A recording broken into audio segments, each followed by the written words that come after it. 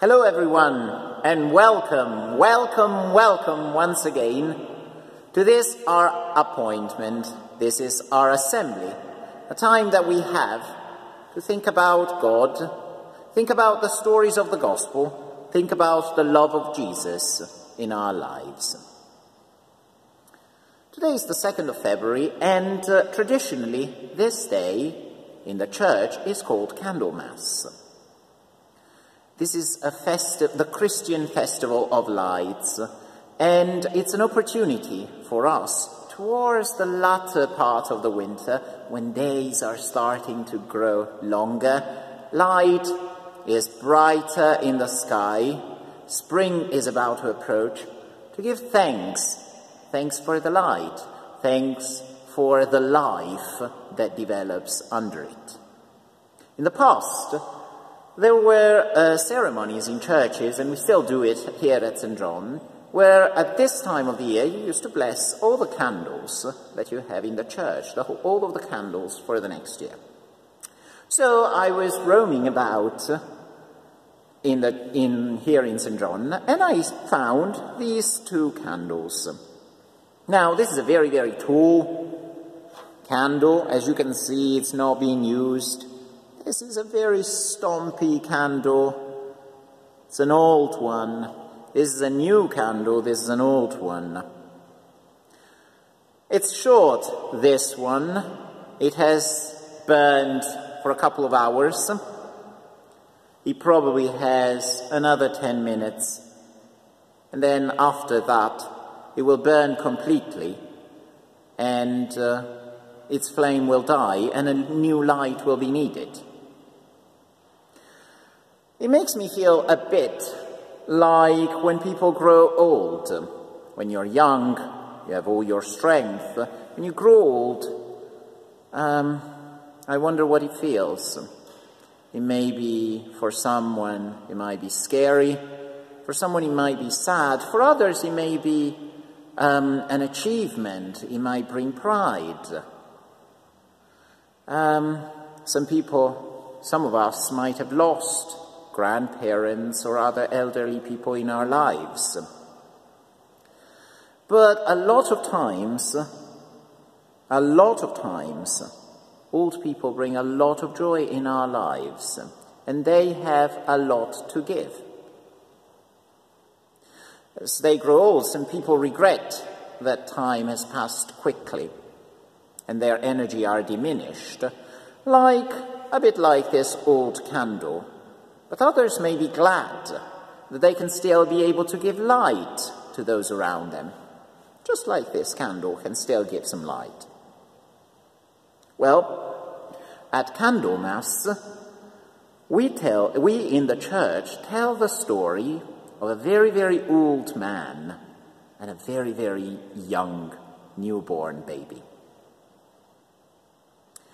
The newborn baby, you guessed it, was Jesus who had just been born at Christmas. The old man was called Simeon. He was gentle, he was kind, he was patient. And Simeon often thought about the past. He remembered God's promises made to his people, Israel.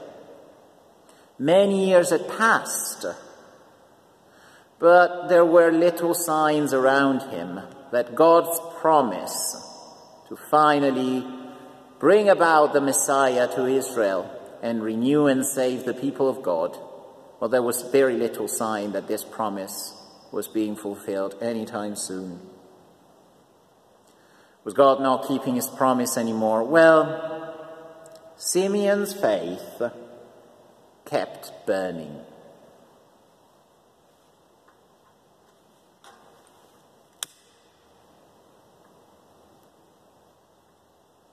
And even though he was old, and even though he didn't have a lot of light left, he still was burning, just like this little stompy candle is still burning.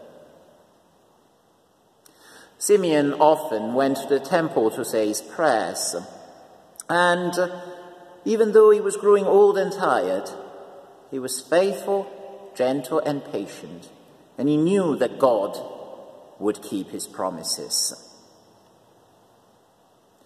One day, although he was very tired, he went to the temple to say his prayers, and that same day, a young couple entered with their new baby. It was Mary and Joseph, and the baby was baby Jesus. They had brought Jesus to the temple to ask God to bless this newborn baby.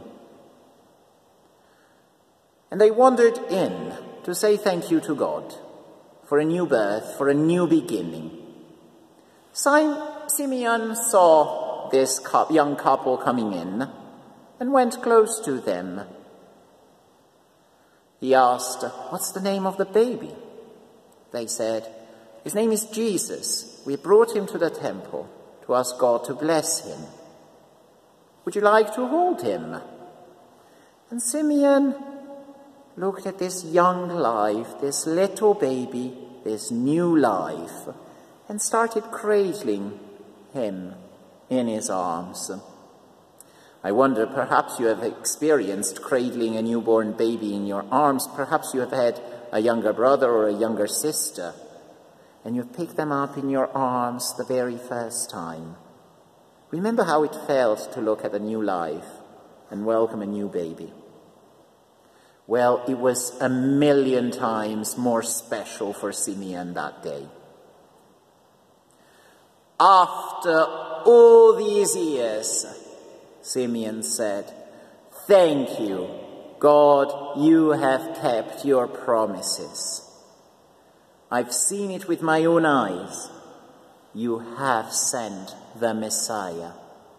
And then he said to Mary, Your son, your child, will be a light to the whole world and will show the whole world the true face of God.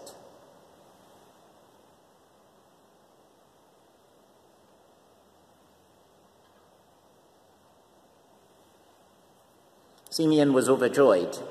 He had experienced something exciting that day, something new, and that day he would remember it until the rest of his life when the light of faith would still be shining in his heart.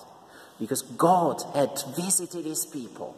God was now walking amongst us as a little baby. God was now with us. So at Candlemas, we say thank you for the light to God. But most of all, we say thank you because His light, His presence, he himself has come down to us to be with us. I'm going to say a little prayer, and uh, I wonder if you might be able to join me. You don't have to if you don't want to, but if you want to, you're very welcome to join me in prayer. And I will, will conclude with the Lord's Prayer. Let us pray.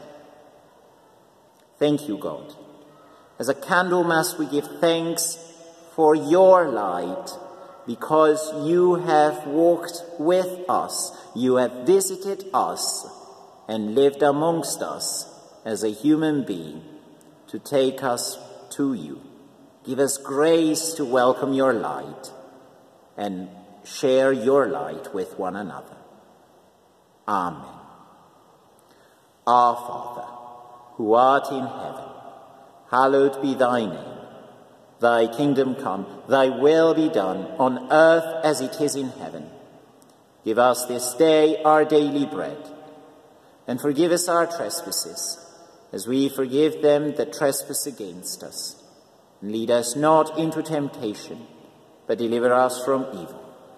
For thine is the kingdom, the power, and the glory, forever and ever. Amen.